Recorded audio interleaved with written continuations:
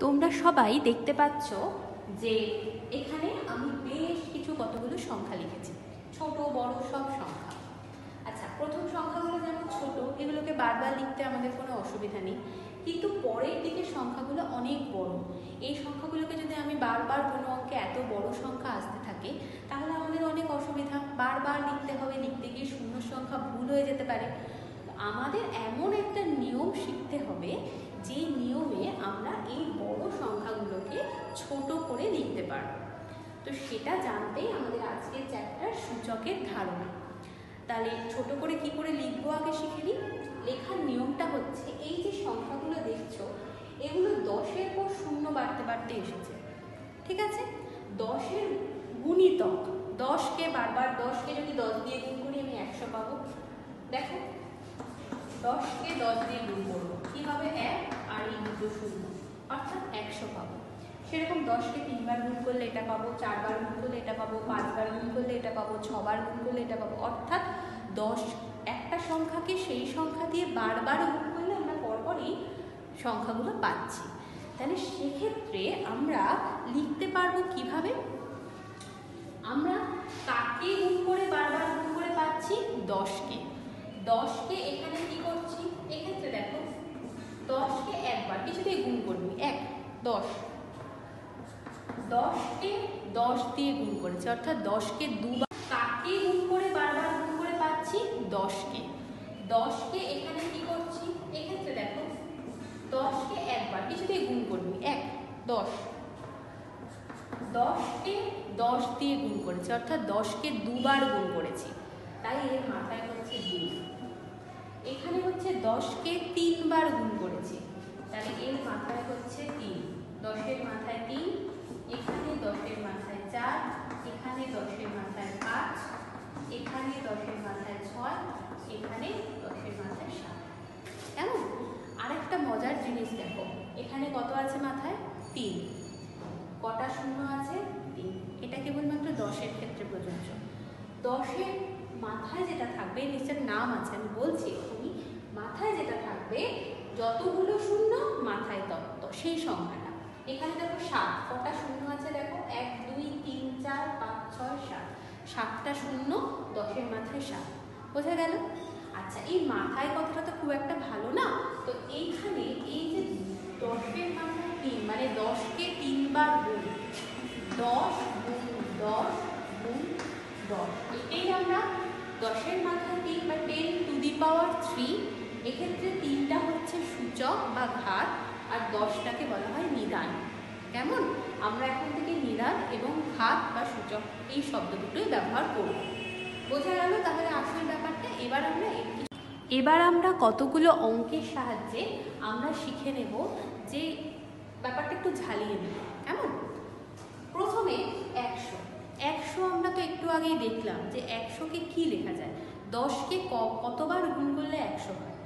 যদিও এটা মুখে মুখেই করা উচিত, কিন্তু যদি আমাদের মুখে মুখে আমরা না পারি, তাহলে আমরা কি করব? আমরা দশকে প্রথমে আর একটা দশ দিয়ে গুণ করব, দেখব কত হয়। যদি হয়ে গেল ভালো, যদি না হয় আর একটা দশ দিয়ে গুণ করব। মানে একই সংখ্যাকে বারবার সেটা দিয়ে গুণ করব। তো আমরা সবাই জানি দশকে দুবার গুণ করলে একশো হয়। তাহলে একশো মানে হচ্ছে টেনের ten to the power two অর্থাৎ টেনের বা দশের ঘাত হচ্ছে দুই। কেমন? এরপর হচ্ছে একশো পঁচিশ। একশো পঁচিশ আমাদের তো নামটা খুব একটা ভালো অবস্থায় নেই। তো আমরা জানি না একশো পঁচিশ পাঁচকে কতবার গুণ করলে হবে। তাহলে আমরা কি করব একটু দেখে নিই।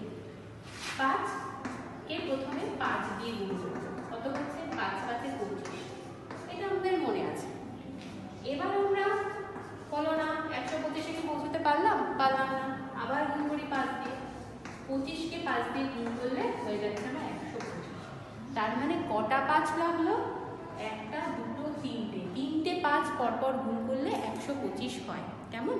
তাহলে এখানে আমার মাথায় হলো তিন। বোঝা গেল? আচ্ছা। Two to the power three বা নিদান দুই সূচক তিন।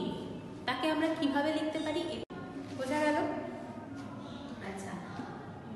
Two to the power three বা নিদান দুই সূচক তিন। তাকে আমরা কীভাবে লিখতে পারি? এটা মানে কি? এটা মানে হচ্ছে দুইকে তিনবার গুণ করব। অর্থাৎ দুই গুণ দুই গুণ দুই। কেমন? আচ্ছা পরেরটা মাইনাস দুইকে বেশ কয়েকবার গুণ করে করে গেছি। কবার গুণ করেছি? একবার, দুবার, তিনবার, চারবার। তাহলে এটা মানে হচ্ছে মাইনাস দুইয়ের মাথায় চার। অর্থাৎ এবার আমরা শিখব সূচকের ধর্ম। ছোট্ট দুটো ধর্ম। দুটো সূচক সংখ্যা যদি এভাবে গুণ আকারে থাকে, তাহলে দেখো, নিদান একই থাকলেও ঘাত দুটো যোগ হয়ে গেল। হুম? ভাগের ক্ষেত্রে উল্টো। উল্টো মানে?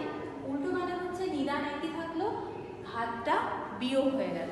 আমরা একটু সংখ্যা দিয়ে এটা বুঝে নিই। ধরো প্রথমটাকে। Two to the power three গুণ two to the power five.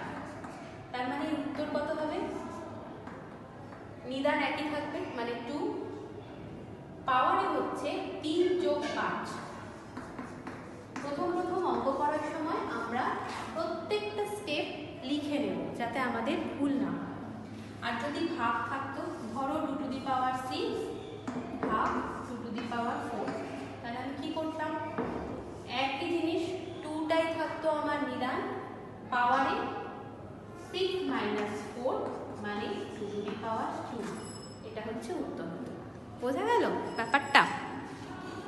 এবার আর এক ধরনের অঙ্ক। অঙ্ককে বিস্তার করে দিয়ে দিয়েছে, আমাকে এটাকে ছোট করতে হবে। মানে সংখ্যাটা লিখতে হবে। কেমন? সংখ্যাটা আমরা কীভাবে লিখব? আগে একে বড় করে লিখে নেব। মানে টেন কিউব মানে কত? একের পরে তিনটে শূন্য দুই ইন্টু টেন স্কোয়ার মানে একের পরে দুটো শূন্য seven into ten plus two এবারে তিনের সাথে এটা গুণ করলে কি হয় তিনের পরে তিনটে শূন্য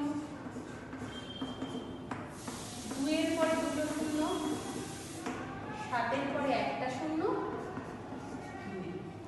এটা তো ক্লাস ফাইভেই আমরা লিখতে পারতাম তাই না স্থানীয় মানে বিস্তার করে তো এরকম লিখে লিখতে পারতাম ঠিক এবার সেই কাজটাই করব একক দশক করে পরপর লিখে যাব, উত্তর হবে থ্রি টু সেভেন টু তিন হাজার দুশো এবার সূচকের আর একটা ধর্ম সম্বন্ধে আমরা জানব। সেটা হচ্ছে সূচক ব্র্যাকেট দিয়ে আবার সূচক। তাহলে এক্ষেত্রে আমরা কি করব? এটা তো আমাদের গুণ বা ভাগ নয়। ব্র্যাকেট দিয়ে সূচক, তার বাইরে আবার সূচক। দেখো, এটা মানে আমরা বলতে পারি টু স্কোয়ারকে তিনবার গুণ। তার মানে টু স্কোয়ার স্কোয়ার বলতে পারি এবার জানি গুণ থাকলে কি হয়? যোগ হয় তাহলে প্রথম দুটো গুণ মিলে কি হবে? দুই দুয়ে চার। পরের দুটো দিয়ে কি হবে? আবার একই। চার আর দুয়ে ছয়। হলো two to the power six তার মানে আসলে কি হলো? যদি এরকম ব্র্যাকেটের বাইরে আবার সূচক থাকে, পাশাপাশি দুটো গুণ হয়ে যায়। যেমন এখানেই দেখো তিন দুগুণে ছয়। তাহলে two to the power six এতগুলো ধাপ করার কিন্তু দরকার নেই। এবার এটা একটা এই অঙ্কটা দেখো। একটা সরলের অঙ্ক আসবে পরীক্ষায়, এরকম ধরনের অঙ্ক। আমরা পরপর এগিয়ে যাই। প্রথমে আমরা এটার কাজটা করি। আমরা একটু আগে শিখলাম, এরকম থাকা মানে হলো এই দুটো পাশাপাশি গুণ হওয়া, তার মানে তিন গুণে ছয়।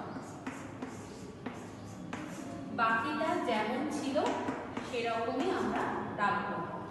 এরপর গুণ থাকা মানে ঘাত দুটো যোগ হয়ে যাওয়া, ছয় আর চারে হচ্ছে দশ। ব্র্যাকেট উঠে গেল, আর তো কিছু নেই ব্র্যাকেটটা রাখার দরকার নেই। তারপর হচ্ছে, ভাগ থাকা মানে হচ্ছে ঘাত বিয়োগ হওয়া, দশ বিয়োগ সাত। তার মানে উত্তর হলো six to the power three বা সিক্স এর ঘাত তিন। বুঝে গেল অঙ্কটা দেখে নাও ভালো করে। এটা আর একটা অঙ্ক দেখো, এইটা ভগ্নাংশ ভগ্নাংশ আকারে দেওয়া রয়েছে। এবার লবের কোনোটার সাথে মিললে এখানে কোনো কি ফোর আছে? আর আলাদা নেই, এও নেই, বিও নেই। আছে কোথায়? হরে আছে। অর্থাৎ ভাগ আকারে আছে। তো আমরা এক লাইনেই একই নিদানের জিনিসগুলোকে আলাদা আলাদা ভাগ করে লিখতে পারি। যেমন এখানে দেখো four to the power five ভাগ four to the power five ভাগ থাকলে আমরা জানি বিয়োগ হয়। এ উপরে আছে এইট ভাগ ফাইভ মানে বিয়োগ হলো বিও তাই তিন আছে উপরে এক লাইনে কোনো অসুবিধা নেই, কারণ এছাড়া তো আর উপায় নেই। ভাগই করতে হবে। এখন প্রথমটাতে আমরা পাচ্ছি, দেখো four to the power five five zero হলো।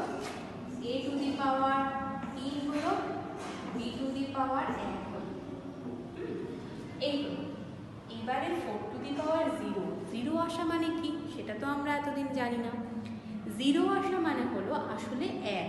দেখো four to the power five four to the five আসলে তো কেটে যেত ক্যান্সেল হয়ে যেত, তাই না?